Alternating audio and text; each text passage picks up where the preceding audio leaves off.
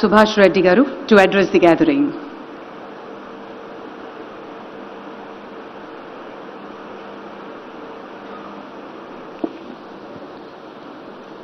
Honorable Chief Justice of India, Justice Ranjan Gogoi, Honorable Chief Minister of Andhra Pradesh, Sri Chandrababu Naidu Garu, Honorable Acting Chief Justice, Mr. Praveen Kumar, all other dignitaries on the dais, Honorable Judges of the High Court of Andhra Pradesh and High Court of Telangana, Mr. Ramesh Ranganathan, Chief Justice, Uttarakhand, Uttarakhand High Court, and Justice P.V. Reddy, former Judge, Supreme Court of India, Honorable Ministers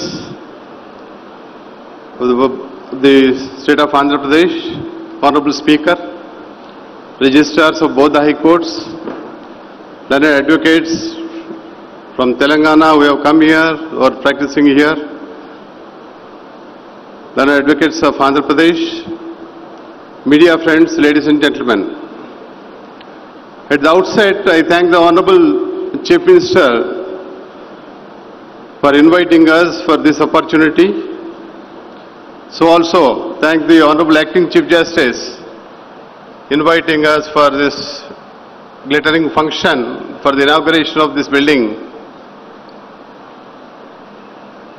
At the outset,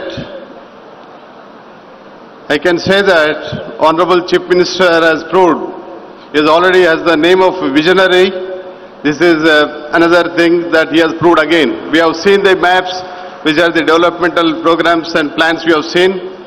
Really, I congratulate him and wish him all the best for early completion of the projects. Before this division of states and high courts, right,